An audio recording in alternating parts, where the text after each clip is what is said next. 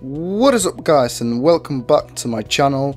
So today I've got another tutorial for you in which I will be showing you how to uh, run Android on your PC. So or should I say apps, Android apps on your PC. So basically either way you will have an Android that can run apps, games or anything you want on your PC.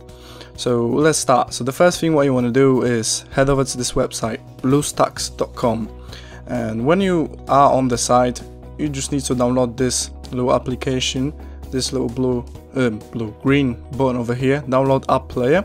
You download it uh, and install it.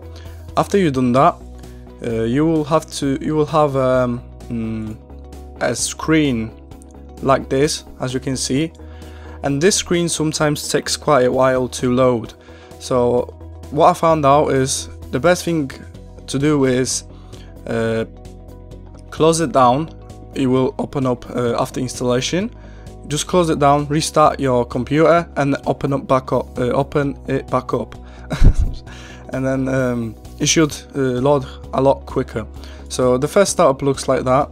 Uh, it doesn't look anything as stock android but it doesn't really matter. So if you want to do any app reviews or anything uh, it will still work because it's just you can have any app you want that it's uh, on Android. Mm, so maybe go into settings, as you can see you got a bunch of settings as you would on the Android device and then when you go into um, uh, settings everything changes as is it, uh, as it is um, in, in Android. You can go full screen as well so you get basically a full screen Android right now on your on your computer.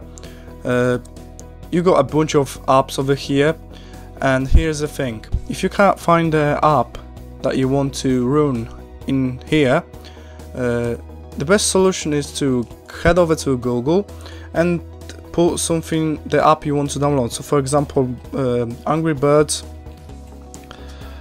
Epic uh, at the end of uh, every app you want to download you should put APK and then as you can see that a lot of uh, Angry Birds came up. So I will go for the first for the first um, website and just basically download it.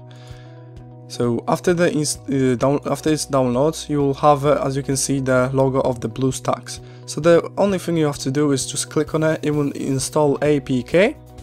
So after it installs, you head over back to to your um, to your Android. And as you can see, Angry Birds Epic it's over here. So maybe go full screen and see how it runs. So right now it's loading up. So this method uses um, mm, error downloading file expansions. Alright, so that is because of uh, I'm not logged in into into the mm, into the Play Store. Yes, this thing uses Play Store as well. So for example, if I wanted to uh, download Instagram, as you can see, you have to set up a Google account which uh, is not particularly hard. You can use your existing one, so basically log in, or you can make a new one. So I won't be showing you to that today. So I hope this tutorial has helped you guys. Uh, this method is really useful if you want to uh, play games or live stream. That's one of the reasons I found out this. I wanted to live stream some um, Android games, uh, but the only downside to it is that you will control it with a mouse. So maybe, I'm not sure if you have a touch screen or touch uh, monitor that you can touch, so, well basically it's a touch screen, maybe it will work, Hope, yeah it should do, so that, that, that could be a good idea, but as, as of now I can only use a mouse to control this, but I think it's not a huge downside to it. So yeah guys, I hope you uh, this tutorial has helped you. If you did, smack that like button, it's always appreciated and if you want to see any of my future videos, click that subscribe button and I will see you later on next video.